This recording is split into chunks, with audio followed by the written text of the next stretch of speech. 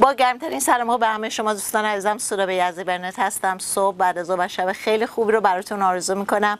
برنامه امروز راجع به آغاز بهار و بهار یکی از فصل هایی هستش که من خودم عاشقش هستم به خصوص به خاطر اینکه خودم هم اردی بهشتیم نه شوخی می‌کنم.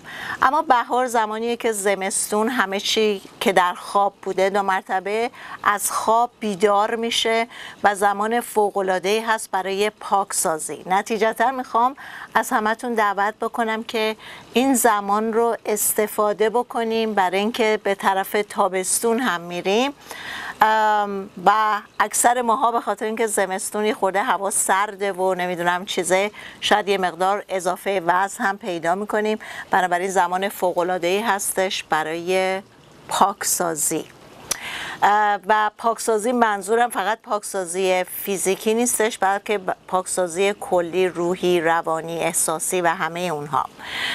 طبق آیروودیک که طب 4000 سال پیش هند هستش معتقد هستن که با هر فصل ما باید یک پاکسازی انجام بدیم که به پیشواز فصل جدید بریم و بهار به خاطر اینکه خیلی چیزها جوانه می‌کنن خیلی خوب هستش که ما بدنمون رو یه مقدار به طرف قلیایی بودن ببریم.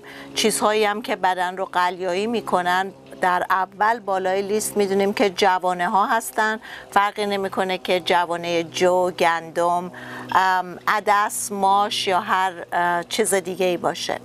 همیشه از من شنیدین که من خیلی آلرژی دارم روی گلوتن و میگم که هر چیزی که از گندم و جو گرفته میشن گلوتن دارن ولی جوانه ها استثنا هستن. بنابراین شما یا می‌تونین خودتون چیزها رو به صورت جوانه در بیارین یا اینکه از بیرون می‌تونین بخرین. الفا الفا داریم که مثل حالت گرد گرد میمونه که در مغازه ها هستش. کره ها و چینی ها همیشه می‌بینین که اون جوانه های باریک چیزای باریک هستن که رنگ شیری رنگ داره. از اونا می‌تونین استفاده بکنین. supplement هایی که خیلی خوبه و کمک می‌کنه برای این زمان spirulina هستش که خزه دریایی یا blue algae که تمام از خزه های دریایی گرفته میشن به خصوص به خاطر اینکه خیلی از ماها مشکل داریم با تیرو کمکاری تیروید و یکی از دلایل کمبود تیروید همین هستش که ما به اندازه کافی آیدن نمی‌گیریم و اون هم در نمک دریایی در خزه دریایی و همه کلا همه چیزهایی که از دریا گرفته میشن هستش. بنابراین در فصل بهار به خاطر اینکه بیشتر ما این خاصیت رو داریم که حالتهای موکس فورمین یا بینیمون می‌گیره خلط گلو و اینها هستش. حتما و حتما پیشنهاد میشه که لبنیات رو قطع بکنیم برای دورانی. بنابراین ماست و شیر و پنیر و خامه و همه چیزهایی که گرفته میشه از اون جلوگیری بکنیم. صبح اول وقت رو حتما حتما شروع بکنیم با دو تا لیوان آب ولرم یا با یک قاشق اپل سایدر وینیگر که میشه سرکه سیب طبیعی یا اینکه با squeeze لیمو یا lime هر کدوم از اینها این کمک می‌کنه که بدن ما رو فوق العاده قلیایی بکنه. زرچوبه امروز می‌دونیم که یکی از بهترین anti inflammatory یعنی اینکه تمام باد و ورم رو می‌گیره. free radical ها رو جلوگیری می‌کنه ازشون که جلوگیری از سرطان میشه. به طور کلی زرچوبه خیلی خواص مختلف داره و زمانی که من و شما زرچوبه استفاده می‌کنیم به خاطر اون طعم بیتر و تلخی که داره به غیر از قلیایی کردن بدن جلوی اشتهای کاذب ما رو می‌گیره. خیلی از ماها که مشکل داریم با کندیدا ایستایی که در قسمت رحم و بعد یواش یواش شروع می‌کنه بالا می‌زنه. برای ما خیلی احساس ما کریو می‌کنیم چیزا مواد قندی و شکری و کربوهیدرات بنابراین زردچوبه خیلی کمک می‌کنه به این قضیه. رسپی که من براتون خیلی وقت پیش گفتم پستش رو درست کردن روی اینستاگرام و تلگرام و فیسبوک گذاشتن. این هستش که هر روز شما برای خودتون می‌تونین یه چای گرم درست بکنین که در اون شامل میشه با آب فیلتر شده. به اضافه زرچوبه زنجبیل تازه رنده شده. اگه دارین اگر ندارین می‌تونین پودرش رو استفاده بکنین. دارچین که خیلی کمک می‌کنه به تنظیم قند لیمو و اصل حتما ضروری نیست ولی اکثر چیزها پاکسازی ها از اصل هم استفاده می‌کنن. من کلا به خاطر خاصیتی که بیشتر بدن رو می‌بره به طرف با قند ما بازی می‌کنه و ما بیشتر شکر کریو می‌کنیم. پیشنهاد می‌کنم که از اصل هم با تمام خواصش استفاده نکنیم. و ما در این رسپی شما می‌تونین یک قاشق چای خوری هم اصل توش بریزین. اینو می‌تونین به صورت چاییش بکنین و تمام روز خورده خورده استفاده بکنین. یادمون باشه که هر زمانی که من و شما آب و لیموی تازه یا آب و سرکه سیب در طول روز استفاده می‌کنیم. این کمک می‌کنه که یه شستشوی کبد انجام میشه. در این زمان خوب هستش که ما میزان ویتامین C رو بالا ببریم. بنابراین ویتامین C هم که می‌تونه به فرم های مختلف بیاد می‌تونین پودر ویتامین C استفاده بکنین یا قرص ویتامین C یا اینکه به صورت لیکوید هم می‌تونه بیاد. میزان مگنزیوم رو همینطور بالا ببریم. خاطر اینکه مگنزیوم نه تنها کمک می‌کنه به اینکه دردهای عضله‌ای و گرفتگی عضله رو ازش جلوگیری می‌کنه ولی در اینها خیلی کمک می‌کنه مکمله به خاطر اینکه بقیه ویتامین ها و مینرال ها بتونن بهتر در بدن جذب بشن و همینطور مگنزیوم کمک می‌کنه که شما شکمتون خیلی کار بکنه جلوگیری از یبوست می‌کنه. در این حال سعی بکنین که در این دوران به خاطر اینکه خیلی از ماها مشکل لیمفتیک سیستم داریم که در واقع قسمت پاکسازی کلی سیستم سیستم لمفاوی هستش. برای همین سعی بکنین که هر روز زمانی که حمام می‌کنین از پایین پا شروع کنین بسابین و بیاین به طرف بالا. اپسم سالت فوق العاده کمک می‌کنه برای پاکسازی و می‌تونین اپسم سالت رو یه مقدار توی آب قاطیش بکنین و از اون به عنوان صابون استفاده بکنین که تمام بدنتون رو با اون بسابین و اون کمک می‌کنه که خیلی سیستم تمیز میشه و یه برق خیلی خوبی روی سیستمتون میندازه.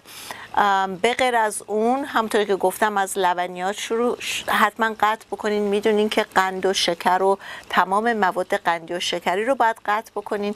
پیشنهاد بعدی حتی اگر شما آلرژی به گلوتن هم ندارین خوب هست که برای این دورانی که پاکسازی می‌کنیم تمام چیزهایی که از آرد گرفته میشن ازشون جلوگیری بکنیم و میزان پروتئین رو یا استفاده نکنیم در این دوران گوشت و مرغ و اینها رو یا اینکه میزانش رو کم بکنیم.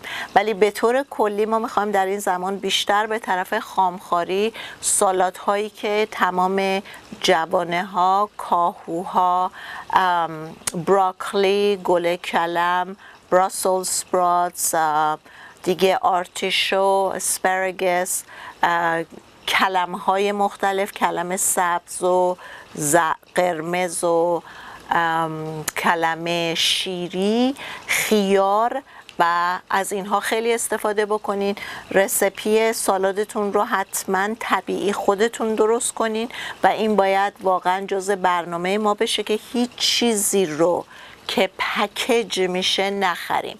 یعنی هر زمانی که چیزی توی قوطی میره توی شیشه حالا شیشه به اون صورت نه چون یه سری از شورها توی شیشه هستن. ولی تمام چیزایی که بسته بندی میشه به هیچ عنوان استفاده نکنین.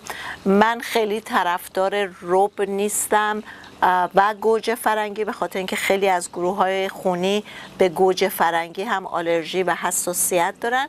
نتیجتا گوجه اون تخمهایی که توی گوجه هستش برای خیلی از افراد آلرژی‌زا میشه و همینطور خانواده که باید بیشتر مراقبشون باشیم گوجه فرنگی بادمجون سیب زمینی و فلفل های رنگی باشیم که اینا برای افرادی که leaky gut دارن فوق مشکل به وجود میاره. نتیجتا برای اینکه در طرف safe side باشیم بیشتر مطمئن باشیم در این دوران از گوجه فرنگی بادمجان فلفل های رنگی و سیب زمینی به هیچ عنوان استفاده نکنیم. سبزی سالاد جوانه تا اونجایی که امکان داره سستون هم با روغن زیتون و همینطور لیمو یا سرکه سیب استفاده بکنین. در ضمن هر روز و وقتی که از خواب بیدار میشین یه قاشق روغن نارگیل رو بذارین توی دهنتون و گارگل کنین. سکواش به مدت 20 دقیقه این کمک می‌کنه که تمام میکروب و جرم هایی که در دهن جمع میشه اونا رو به خودش می‌گیره و بعد باید تف بکنین بیرون. هیچ وقت اونو قورتش ندین به خاطر اینکه اون شروع کرده تمام میکروب ها و جرم های دهن شما رو گرفته. در ضمن سعی کنین که از خمیر دندونی که فلوراید درش نیست استفاده بکنین. من رسپی خمیر دندونی که خودم درست می‌کنم روی یوتیوب هست که با روغن نارگیل کلوف اویل، اورگانو اویل، اسپرمنتس و روزمری اویل هستش. اونم برین روی یوتیوب نگاه بکنین. در ضمن روی یوتیوب یه دونه ویدیو دیگه هم در مورد پاکسازی سوپ دارم که می‌تونین اون هم نگاه بکنین. مدیتیشن و طبیعت در این زمان فوق العاده مهمه و حتما سعی کنین تا اونجایی که امکان داره توی طبیعت پا برهنه راه برین و اینکه اگر که خوابتون خوب نیست سعی کنین از طرف بعد از ظهر caffeine رو کاملا قطع کنین و چای های گیاهی مثل گل بابونه سنبل‌الطیب و همه اینا استفاده کنین. مرسی تا برنامه آینده. همتون رو میبوسم. بهار خیلی خوبی رو براتون آرزو می‌کنم و اینکه پیاده روی ورزش و حرکت و فعالیت های فیزیکی رو فراموش نکنین. تا برنامه آینده I love you. راستی یادتون نره که روی کانال من subscribe کنین like کنین و share کنین.